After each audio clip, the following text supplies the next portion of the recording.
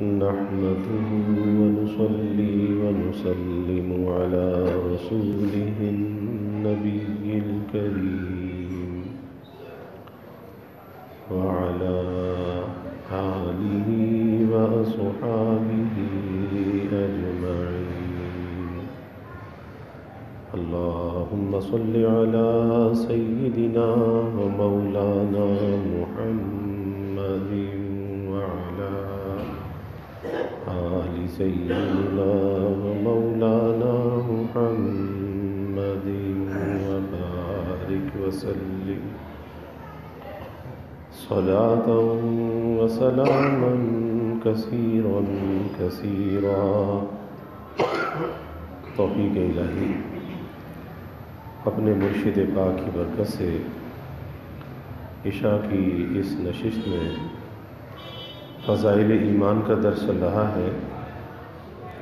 ईमान और आमाल सालहा के बारे में बात चल रही थी कि ईमान बग़ैर अमल सालह के मकबूल नहीं है और अमल बग़ैर ईमान के मकबूल नहीं है।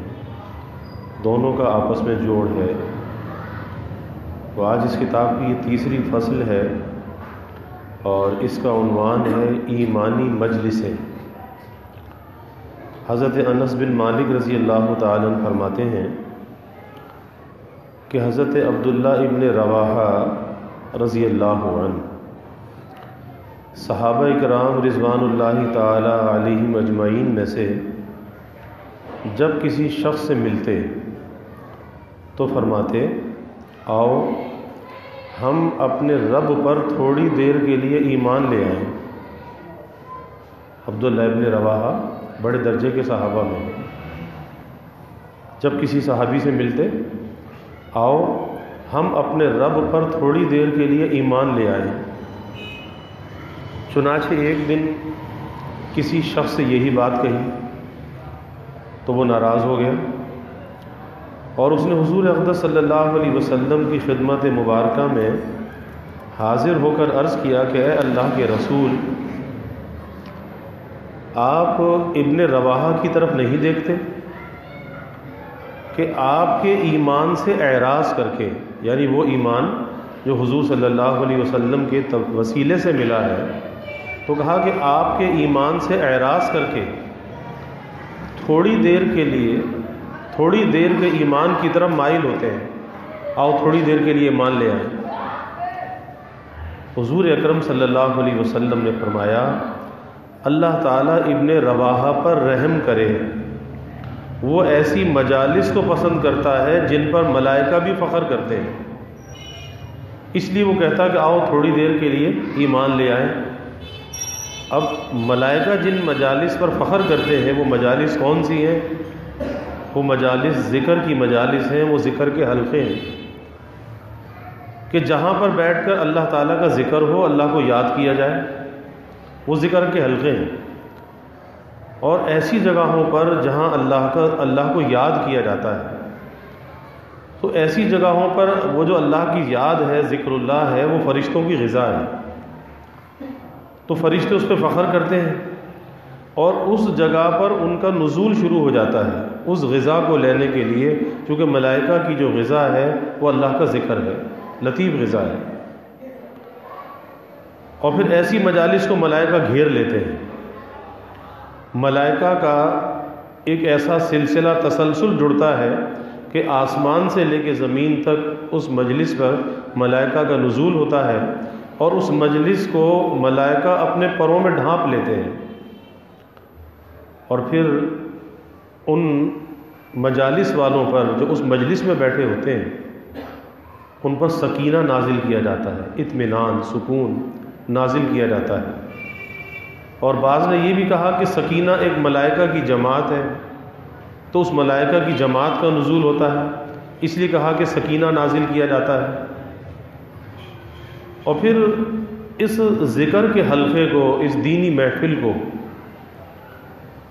अल्लाह ताला इतना पसंद फरमाते हैं कि जब ये फ़रिश्ते अल्लाह के दरबार में जाते हैं तो अल्लाह ताला पूछते हैं कि कहाँ से आए हो? कहा, जी, हम तो दीनी महफिल से आए हैं। तो मेरे बंदे क्या कर रहे थे? या अल्लाह, आपके बंदे आपको याद कर रहे थे? मेरे बंदे किस चीज़ का सवाल कर रहे थे? या अल्लाह वो तो जन्नत का सवाल कर रहे थे? तो क्या उन्होंने जन्नत को देखा है? फरिश्ते कहते हैं कि अल्लाह जन्नत को तो उन्होंने नहीं देखा। तो अगर वो जन्नत को देखते तो क्या होता? कहा कि फिर तो और ज़्यादा वो जन्नत का सवाल करते। अल्लाह कहता है कि तुम गवाह रहो, मैंने उनको जन्नत दे दी। मैंने जन्नत दे दी। फिर अल्लाह पूछता है कि वो किस किस चीज़ से पनाह मांग रहे थे? फरिश्ते कहते हैं कि या अल्लाह वो जहन्नुम से पनाह मांग रहे थे, जहन्नुम के अजाब से पनाह मांग रहे थे। अल्लाह ताला पूछते कि क्या उन्होंने जहन्नुम को देखा है? कहा कि नहीं अल्लाह, जहन्नुम को देखा तो नहीं है। तो अगर वो जहन्नुम को देखते तो क्या करते? तो फरिश्ते कहते हैं कि, या अल्लाह, फिर तो और ज़्यादा वो जहन्नुम से पनाह मांगते। तो अल्लाह कहता है कि तुम गवाह रहो, मैंने जहन्नुम से पनाह दे दी। तो फिर फरिश्ते कहते हैं कहते हैं कि अल्लाह, उस मजलिस में एक शख्स तो ऐसे ही आगे बैठा हुआ था। उसका इरादा उस मजलिस में शिरकत का नहीं था। वो तो ऐसे ही आकर बैठ गया था। तो क्या उसके साथ भी यही मामला? अल्लाह ताला फरमाएँगे कि हाँ उसके साथ भी यही मामला। यानी उस महफिल में, दीन की महफिल में आने वाला, वो अल्लाह की बारगाह में नवाजा जाता है, वो महरूम नहीं जाता, नवाजा जाता है। और ये दीन के जो हलक़े हैं जहाँ पर फ़िक्र आखरत की बात होती हो, अल्लाह और उसके रसूल की बात होती हो, ऐसे हलक़ों की बड़ी कदर करनी चाहिए। और 24 घंटे की ज़िंदगी में कोई थोड़ा सा वक्त निकाल कर हमें इस सोहबत को ज़रूर इख्तियार करना चाहिए। क्यों कि जिस दुनिया के माहौल के अंदर हम रहते हैं तो ये माहौल बड़ा जहर आलूद है, बहुत जहर आलूद है। इसके अंदर फितने भी हैं, इसके अंदर बेहयाई भी है, इसमें आज़ादी भी है, बेबाकी भी है। फिर इंसान के साथ उसका नफ्स भी लगा हुआ है। शैतान भी उसका दुश्मन है। नफ्स भी बहकाता है, शैतान भी बहकाता है। और इस बहकावे में आकर कहीं नफसानियत से मगलूब होकर, कहीं शहवानियत से मगलूब होकर और कहीं शैतानियत से मगलूब होकर आदमी वो कुछ कर बैठता है जो उसे नहीं करना चाहिए। यानी अपनी मकसद ज़िंदगी के ख़िलाफ़ कर बैठता है। अब जब ऐसा कुछ कर बैठता है तो अपने ईमान को वो कमज़ोर करता है। जैसे आपके मोबाइल फ़ोन की बैटरी है। अब उस मोबाइल फ़ोन को किसी कारामद चीज़ में इस्तेमाल कर लो तो वो बैटरी की का इस्तेमाल कारामद होगा, ज़रूरियात में। और अगर कोई उसे इस्तेमाल तो कर रहा है, जैसे आजकल लोग करते हैं फेसबुक पर यूट्यूब पर इंस्टाग्राम पर सारी सारी रात तो बैटरी तो ज़ाया हो रही है ना। अब उस ज़ाया करने के बाद उसकी उसकी चार्जिंग की फ़िक्र होती है तो इलेक्ट्रिक की तलाश होती है कि कहाँ प्लग है तो वहाँ इसको चार्ज किया जाए। तो ये दीन के जो हल्के हैं, यहाँ पर इंसान के ईमान की बैटरी चार्ज होती है। ईमान की बैटरी। कि बाहर के माहौल में रहकर जो उसके अंदर कमज़ोरी आती है, ज़ोफ़ आता है और आता ज़रूर है। कोई ये नहीं कह सकता कि मैं तो बाहर के माहौल से मुतासर नहीं होता। कोई ये दावा नहीं कर सकता। क्यों? कि जब अल्लाह के हबीब सल्लल्लाहु अलैहि वसल्लम खुद ये बात फरमाते हैं, आप फरमाते हैं कि मुझे कभी अपने कल्ब पर कुछ गुबार सा मालूम होता है। गुबार सा। और मैं एक एक नशिश में सत्तर सत्तर मरतबा इस्तफ़ार करता हूँ। अब इस पर उलमा ने कलाम किया कि आपको अपने कल्ब पे गुबार क्यों मालूम होता था? और हमारा अकीदा है, इसमत अम्बिया नबी तो मासूम होता है। नबी से इख्तियारी, गैर इख्तियारी को अल्लाह की नाफरमानी नहीं हो सकती। तो ये जो गुबार जो महसूस होता था, उस माहौल और माशरे का था कि जिन लोगों से मिलना जुलना होता था, हर किस्म के लोग होते थे और उस मिलने वाले के असरात इंसान पर आते हैं। वो आपको महसूस होते थे और आप सत्तर सत्तर मरतबा इस्तफार फरमाते थे। तो आप तो मासूम थे, लेकिन उसके असरात को महसूस फरमाते थे। तो हमारे अंदर तो अभी वो हिस्वी बेदार नहीं हुई कि हम उस बाहर बाहर के माहौल की उस जुल्मत को पहचान सकें, शनाख्त कर सकें और उसके असरात को महसूस कर सकें। हमारे अंदर तो अभी वो सलाहियत भी नहीं है। तो हमें तो ज़्यादा इस बात की ज़रूरत है कि हम दीनी और ईमानी हलकों से वाबस्ता रहें। और इसका सबसे बड़ा जो फ़ायदा है, नेक सोहबत का, क्योंकि बात चल रही है ईमान के ऊपर, कि ईमान की हिफाजत कैसे हो, इसका बका कैसे हो, ये कब्र तक, हशर तक कैसे साथ जाए, ईमान की हिफाजत पर। तो इस नेक सोहबत के जो असरात हैं, नेक सोहबत के जो असरात हैं मुजद्दी थानवी रहमत ने एक अजीब बात फरमाई है। फरमाया कि इस नेक सोहबत का जो सबसे बड़ा फ़ायदा इंसान को होता है, वो फ़ायदा ये होता है कि खरूज अनिल इस्लाम का जो ख़तरा है, वो जाता रहता है।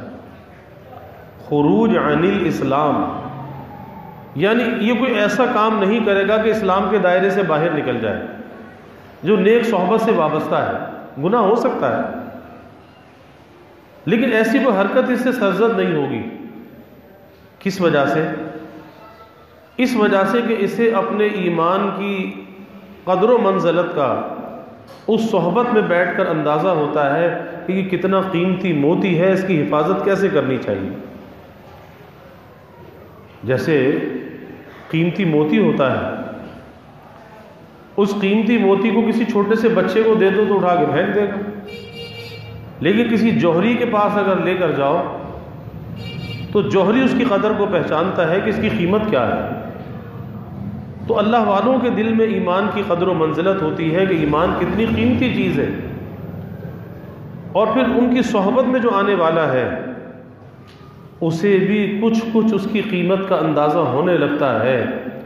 और जैसे जैसे सोहबत से वाबस्ता रहता है, उस ईमान की हकीकत को, कदर व कीमत को पहचान जाता है। कि यही तो काम आने वाली चीज़ है, बाकी सब कुछ तो यही रह जाएगा। ये अगर साथ चला गया तो वहाँ पर काम बन जाएगा। तो ईमान की कदर मंजिलत का पता कहाँ पे चलता है? नेक सोहबत में चलता है। फिर अगर उससे गलती भी होती है, उससे गुनाह भी होता है तो फिर वो गुनाह को गुनाह समझकर करता है। गुनाह को हलाल नहीं समझता। और जब आदमी गुनाह को गुनाह समझकर कर रहा है, गुनहगार तो है, लेकिन उसका ईमान बचा हुआ है। और अगर कोई गुनाह को गुनाह ही ना समझे और उस गुनाह को हलाल समझने लगे। बहुत से लोग कह देते हैं ना, कहते जी, रिश्वत में क्या हरज है और सूद में क्या हरज है? अरे नाउज बिल्ला नाउज बिल्ला बाज लोग यहाँ तक बातें करते हैं। कहते भाई, एक आदमी दुकान पे सौदा बेचता है तो वो भी तो नफ़ा लेता है ना? और एक आदमी किसी को पैसा दे के नफ़ा ले लेता है तो वो भी नफ़ा है, वो भी नफ़ा है। तो इसमें क्या फ़र्क हुआ? यानी ऐसी इंसान की शामत आमाल है, ऐसी अकल उसकी मसलूब हो जाती है कि वो अल्लाह के वाज हुक्म को भी अपनी नफसानियत की जद में ले आता है। कि जब अल्लाह कुरान में कहता है, वह अहल्लाबई वहर रिबा अल्लाह कहता है कि इस लेन देन को अल्लाह ने हलाल किया है, इस तजारत को हलाल किया है, इसके नफ़े को हलाल किया है। वह हर रमर रिबा और रिबा को सूद को अल्लाह ने हराम करार दिया है। तो फिर किसी को क्या हक है कि अपनी राय जनी करें? लेकिन इस हद तक अंदर खबासत आ जाती है कि बुराई के बारे में इंसान हराम के बारे में तावीलें करने लगता है। और जब इंसान बुराई के बारे में, हराम के बारे में तावील करने लगे तो उसका ईमान कैसे बच सकता है? कैसे महफूज हो सकता है? तो नेक सोहबत के असरात में सबसे बड़ा असर यह होता है कि इंसान के दिल में ईमान की कदर मंजिलत आ जाती है। और इसी को मुजद थानवी रहमत ने फरमाया कि उसका असर इस सूरत में ज़ाहिर होता है कि खरूज अनिल इस्लाम का ख़तरा जाता रहता है कि ये शख्स इस्लाम से बाहर नहीं निकलेगा। इस नेक सोहबत के दायरे में आ गया, हल्के में आ गया, अब इसका ईमान महफूज हो गया। और ज़ाहिर है कि जब ईमान महफूज हो गया तो सब कुछ महफूज हो गया। ईमान ही तो सब कुछ है ना? वरना तो दुनिया में काफिर भी मौजूद है, लेकिन उसके पास ईमान नहीं है। और ईमान ना होने की वजह से काफिर जितने बड़े खसारे के अंदर है, बड़े से बड़ा ईमान वाला गुनहगार भी उस खसारे के अंदर नहीं है, जिसने बड़े खसारे में काफिर है। क्योंकि वो बागी है, वो नाफरमान है। तो ये बात इस पर चल रही थी कि हुजूर सल्लल्लाहु अलैहि वसल्लम ने फरमाया कि इब्ने रवाहा पर अल्लाह रहम करे वो ऐसी मजालिस को पसंद करता है जिस पर मलाइका भी फ़ख्र करते हैं। ये ज़िक्र के हल्के, ये दीनी मजालिस के हल्के मलाइका इस पर फ़ख्र करते हैं। और हकीकत यही है कि सच्ची तलब के साथ आना चाहिए। आज तो अफसोस के साथ कहना पड़ता है कि हम ऐसे खुशकिस्मत हैं और साथ में ये कहना चाहिए कि बदकिस्मत भी है। खुशकिस्मती तो इस एतबार से है कि हम एक ऐसे ख़त्े में रहते हैं, एक ऐसे मुल्क में रहते हैं कि जहाँ पर दीन पर अमल करने में किसी किस्म की कोई रुकावट नहीं। कितनी बड़ी अल्लाह की नेमत कोई रुकावट नहीं। आज़ादी के साथ अल ऐलान।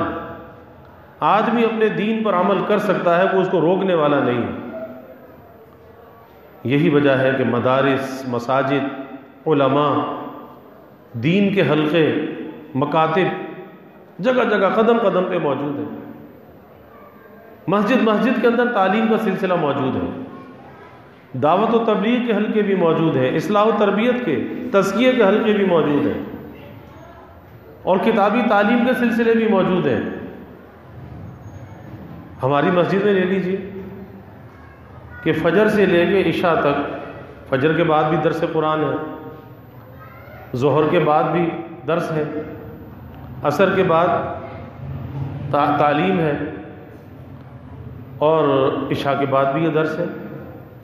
तो चार चार औकात के अंदर दर्स मौजूद है एक मस्जिद में और हर मस्जिद का यही कैफियत है। कम अज़ कम तालीम का सिलसिला तो है दरस कुरान का सिलसिला तो है। लेकिन अफसोस के लोग बैठते नहीं हैं बैठते नहीं हैं। वजह क्या है? वजह यह है कि दुनिया की मादियत जहनों पर सवार है। अल्लाह के घर से, दीन के हल्के से ताल्लुक़ कायम नहीं किया, लेकिन बाहर की दुनिया से ताल्लुक़ है। अल्लाह के घर में आते हैं तो बड़े अजनबी बन के आते हैं, अजनबियत के साथ, कि बस नज़रें घड़ी पर भी हैं, बाहर निकलने पर भी हैं, कि जितना जल्दी बाहर निकल के जाएँ। अरे भाई, ये तो वो जगह है, ये वो दर है, ये वो घर है, कि जहाँ से इंसान नवाजा जाता है, नवाजा जाता है। और इस दर और इस घर की जो फजीलत अल्लाह के हबीब ने बयान फरमाई, सल्लल्लाहु अलैहि वसल्लम। फरमाया कि जिसका दिल इस घर में अटका हुआ है, दिल अटका हुआ है। कैसे अटका हुआ है? कि नमाज़ पढ़ने आता है, लेकिन फिर दुनियावी मशागिल है, कोई कारोबार है, कोई मुलाजमत है, घरेलू जिम्मेदारियाँ हैं अहलो आयाल वाला है जाता है अपने कामों को निपटाने के लिए। लेकिन दिल में ये इरादा लेके जाता है कि बस आज़ान हो तो फिर मैं लौट कर आऊँ। फिर लौट कर आऊँ। तो दिल इस घर के साथ उसका अटका हुआ है। बस जाता है तो आने की फ़िक्र होती है कि बार बार देखता है कि कब अजान होगी तो दोबारा जाऊँ। कब अजान हो तो दोबारा जाऊँ। इंतज़ार में है। इंतज़ार में है। और यह कैफियत होती है। नमाजी आदमी की यह कैफियत होती है। कि हमने डॉक्टर, हमारे डॉक्टर साबिर साहब रहमत को देखा, बीमारी के ज़माने। काफ़ी अर्सा अस्पताल में हर जगह साथ रहना हुआ कि बिस्तर पे आदमी रहता है, बीमारी उसे पता नहीं चलता कि वक्त क्या है। लेकिन हर थोड़ी देर के बाद पूछते थे, अरे भाई, नमाज़ का वक्त हो गया। अरे भाई, नमाज़ का वक्त हो गया। मुझे नमाज़ तो पढ़वा दो। बार बार ये कहते थे बार बार ये कहते थे। अब क्या दिल की कैफियत है? क्या शफाफ दिल है? क्या अल्लाह के साथ जुड़ा हुआ है? क्या अल्लाह की याद दिल के अंदर है? कि किसी और चीज़ की फ़िक्र नहीं है। फ़िक्र है तो नमाज़ की है। अरे भाई, मुझे नमाज़ तो पढ़वा दो। अरे भाई, मुझे नमाज़ तो पढ़वा दो। आप अंदाज़ा लगाइए। तो जाता है, लेकिन दिल यहीं अटका हुआ है कि फिर लौट कर आना है। तो ये जो दिल अल्लाह के घर में अटका हुआ है ना, ये बड़े खुशकिस्मत लोग हैं। और यहाँ तक हदीस में आता है, हदीस पाक का मफहूम है कि जो मुस्तकिल मस्जिद के नमाज़ पढ़ने वाले हैं, मुस्तकिल। हदीस में आता है कि वो मस्जिद के खूंटे हैं। वो खूंटे हैं। अगर वो मस्जिद से कहीं चले जाते हैं, किसी वजह से नहीं आते तो अल्लाह के हबीब सल्लल्लाहु अलैहि वसल्लम फरमाया कि मलाइका उनकी ख़बर खबरगिरी के लिए जाते हैं, तलाश करने जाते हैं कि मस्जिद में क्यों नहीं आ रहे मलाइका उनकी तीमारदारी करते हैं। कि ये मस्जिद के खूंटे थे कहाँ चले गए? ये क्यों नहीं आ रहे मस्जिद में? तो ये वो दर और घर है जहाँ पे इंसान नवाजा जाता है। तो जिसका दिल इस घर के साथ अटका हुआ है, अल्लाह के हबीब सल्लल्लाहु अलैहि वसल्लम ने फरमाया कि क़यामत के दिन, जिस दिन कोई साया नहीं होगा सिवाय अल्लाह के अर्श के साय के। उस अल्लाह के अर्श के साय में उस दिन वो शख्स भी होगा जिसका दिल इस घर से अटका हुआ होगा, इस घर में फंसा हुआ होगा। उसका दिल यहाँ होगा और ये घर उसके दिल में होगा। अल्लाह हमारा दिल भी ऐसा बना दे। ऐसा बना दे। तो अर्श के साय में अल्लाह उसका इतना इकराम करेगा कि उसे अर्श के साय में जगह देगा। कोई मामूली बात है? लेकिन मैं अर्ज़ कर रहा हूँ कि इस दर से भी वो ताल्लुक नहीं है, आते हैं तो भागने की पहले सोचते हैं, निकलने की पहले सोचते हैं। तो जब दिल में ये एक उजलत लेकर आते हैं, तकाजे लेकर आते हैं कि आए और जल्दी से भाग के जाएँ वापस तो फिर अल्लाह तो इंसान की नीयत को देखता है ना, इरादे को देखता है कि नमाज़ भी शुक्र है कि फ़र्ज़ नमाज़ अगर इमाम के साथ पढ़ ली तो फ़र्ज़ तो सही अदा हो गए। वरना अपनी नमाज़ का जो हाल है कि उस नमाज़ में कोई अतदाल नहीं है, कोई अरकान की तरतीब सही नहीं, रुकू, सजूद, क़्याम, कौमा, जलसा, कोई चीज़ तो ठीक हो। बस एक ठग अठग है कि चल रही है नमाज़। तो सोचना चाहिए, जो वक्त ज़िंदगी का है, जो आमाल की तोफ़ीक है, ये मिनजान बिल्ला है, इसकी कदर करनी चाहिए। कदर करनी चाहिए। मैं यस कर रहा था कि मस्जिद मस्जिद में दीन के हलक़े मौजूद हैं, दावत व तबलीग के हलक़े, इसलाह व तरबियत के, दरस कुरान के तालीमी सिलसिले मौजूद हैं। लेकिन बैठने वाले कितने लोग हैं? बैठने वाले कितने लोग हैं? तो पता यही चलता है कि आखरत की फ़िक्र अल्लाह के सामने पेश होने का फ़िक्र दिल में नहीं है। ईमान की हिफाजत का फ़िक्र दिल में नहीं है। यही वजह है कि आपको बहुत से लोग बाज़ार में मिलेंगे। तो झूठी कसम खा के सौदा बेच रहे हो। नफ़ा भी लेंगे, फिर कसम भी खाएँगे कि नफ़ा नहीं ले रहा। कसम खाएँगे, मैं तो ख़रीद के ख़रीद में दे रहा हूँ। अरे भाई, अल्लाह ने जो तुम्हारे मुकद्दर में रिस्क लिखा है, वो तुम्हें मिल के रहेगा। तो ईमान की कसम खाने की क्या ज़रूरत है? ईमान बीच में क्यों लाते हो? ईमान को क्यों दाव में लगाते हो? रिस्क तो तुम्हारे मुकद्दर का तुम्हें मिलेगा। अल्लाह ने मकसूम किया है मिल के रहेगा। तो झूठी कस्में खा के उसकी बरकत से क्यों महरूम होते हो? अपने रिस्क को क्यों ख़राब करते हो? ईमान को क्यों बर्बाद करते हो? तो बात ये चल रही थी कि ये जो हल्के हैं, इसकी कदर करनी चाहिए कि ये हमारे ईमान की हिफाजत के ज़राए हैं और जो ज़रिया ईमान की हिफाजत का हो, वो बड़ा काबिल कदर होता है। अल्लाह हमें कदरदानी की तोफ़ी अता फरमाए। वाखिर दावाना अलहमदिल्ला रबालमीन वलाक़िबतुलतक़ीन वसलात वसलाम अशरफ़िलम्बिया वलमरसलीन अल्लाहुम्म सल्लि अला सय्यिदिना व मौलाना मुहम्मद वअला आलि सय्यिदिना व मौलाना मुहम्मद व बारिक वसल्लिम रब्बना आतिना फिद दुनिया हसना व व रब्बना तमिम लना नूरना वग़फिर लना इन्नका अला कुल्लि शैइन क़दीर अल्लाहुम्मा अइन्ना अला ज़िक्रिका व शुक्रिका व हुस्नि इबादतिक अल्लाहुम्मा वफ़िक़ना लिमा तुहिब्बु व तर्ज़ा मिनल क़ौलि वल अमलि वल फ़िअलि वन नियति वल हुदा इन्नका अला कुल्लि शैइन क़दीर अल्लाहुम्मा अर्ज़ुक़ना हुब्बक व हुब्ब हबीबिक सल्लल्लाहु अलैहि वसल्लम अल्लाहुम्मा अर्ज़ुक़ना शहादतन फ़ी सबीलिक वजअल मौतना बिबलदि रसूलिक या अल्लाह या रहमान या रहीम या करीम या रहमान या अकरमल अकरमीन या अल्लाह हमारे गुनाहों को माफ़ फरमा या अल्लाह हमारी ख़ताया से दरगुजर फरमा या अल्लाह अपनी मोहब्बत, मारफत अता फरमा। अपनी रज़ा वाली ज़िंदगी या अल्लाह नसीब फरमा। या अल्लाह अपने रज़ा वाले कामों की तोफ़ी अता फरमा। अपनी मर्ज़ियात पे चलना या अल्लाह आसान फरमा। ना मर्ज़ियात से हमारी हिफाजत फरमा।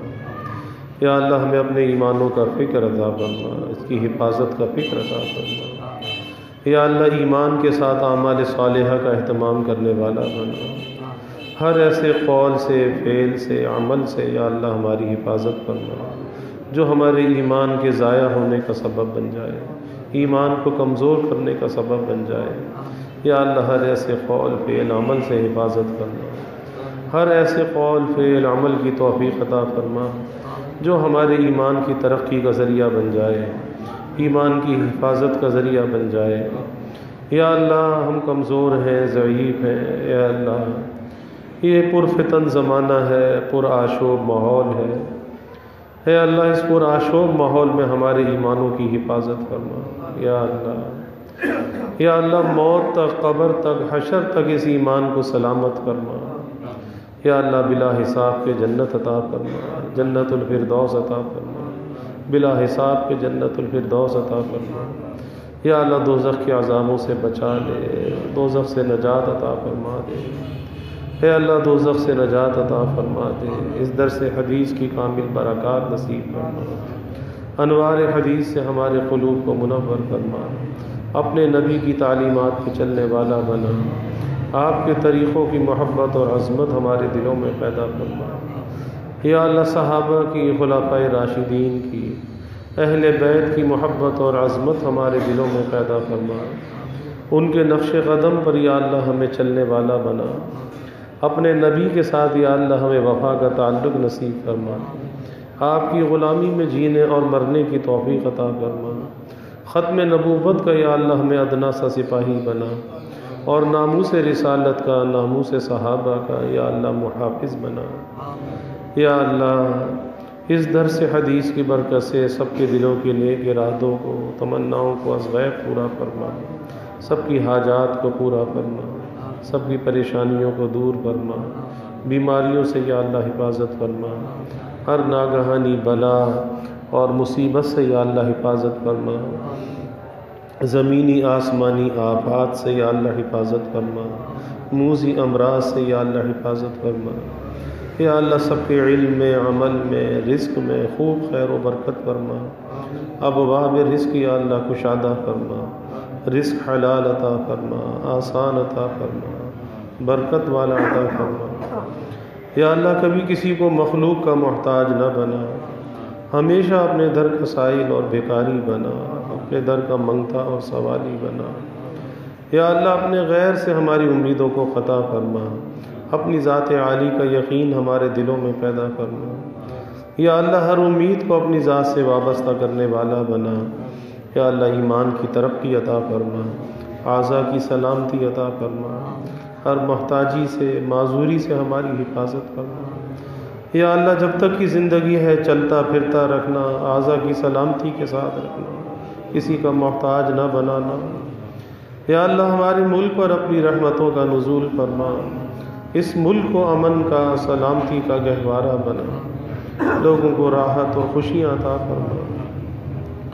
या अल्लाह जितने भी हाजरीन हैं सामीन हैं, सबके घरों में चैन, सुकून, आफियत, राहत अता फरमा, नमतें, बरकतें अता फरमा, नेमतों की फरावानी अता फरमा, हर इब्तला से आजमाइश से या अल्लाह हिफाजत फरमा, या अल्लाह घरों के माहौल को जन्नत निशा बना, आपस में मोहब्बतें, उल्फतें पैदा फरमा, नफ़रत को, अदावत को दूर फरमा, बड़ों का इकराम करने वाला बना छोटों पर शफकत करने वाला बना। खल के खुदा से दरगुजर करने वाला बना। अच्छे अखलाक का, अच्छे किरदार का, अच्छी गुफ्तार का हमें हामिल बना। सबकी औलादों को नेक साल बना। आँखों की ठंडक बना। वालदेन के लिए सदक़ जारिया बना। वालदेन को औलाद की खुशियाँ देखना या अल्लाह नसीब करना या अल्लाह जो मांगा वो भी अता फरमा। जो ना मांग सके वो भी अता फरमा। हमेशा अपने से मांगने वाला बना हमेशा हमारी दुआओं को कबूल करना। अपनी बारगाह में मुस्तजाब दावात बना। रब्बना तक़ब्बल मिन्ना का अंत समीउल अलीम। वतुब अलैना इन्नका अंत तव्वाबुर रहीम। वजज़ल्लाहु अन्ना मुहम्मदन सल्लल्लाहु अलैहि वसल्लम मा हुवा अहलु वसल्लल्लाहु तआला वसल्लम अला नबील करीम। आमीन बिरहमतिका या